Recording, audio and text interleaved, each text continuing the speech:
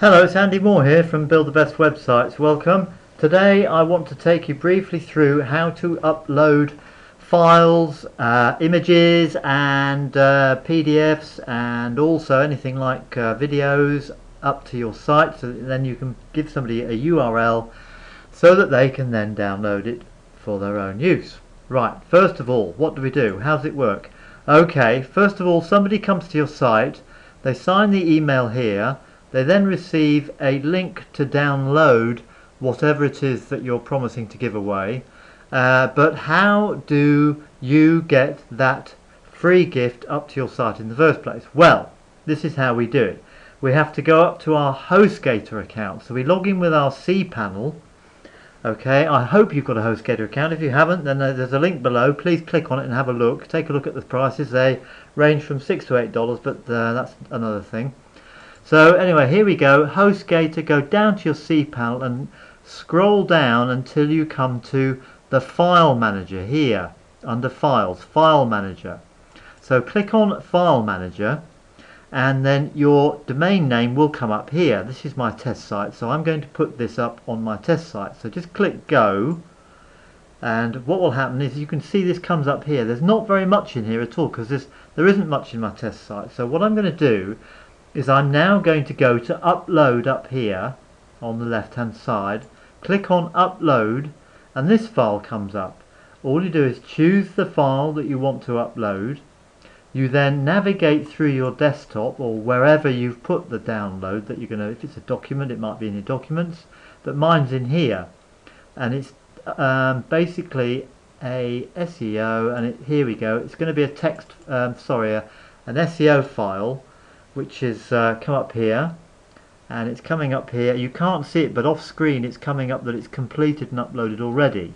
You will on a full screen but you won't see now if you look back at this page here you'll see I'll highlight it a SEO zip okay? Now it's a zip file. So we want to now extract it. So let's extract it. We can either go up here to extract or we can highlight this and right click and we've got extract down here. Both do exactly the same thing so I'm going to just click on extract. This is saying it's going to extract it. Basically unzip it. Extracting and unzip are the same okay? So that's now unzipped but there's nothing there. You can see that that's all we've got is a so what we have to do is go up here and refresh our page and then what will come up is two files. The original zip file here and also the new file that we've uh, extracted. That's the extracted file there. So what we have to do first of all is let's get rid of the zip file. We don't need that anymore. So let's delete that. So that's gone. Thank you very much. And then we've got this one but we don't want it because we want to rename it. And I'll tell you why we don't want to we want to rename it. Because we don't like having capitals in our downloads do we? Because they sometimes uh, mess things up. So let's just make this seo.txt which is a text file. Okay now we've saved that.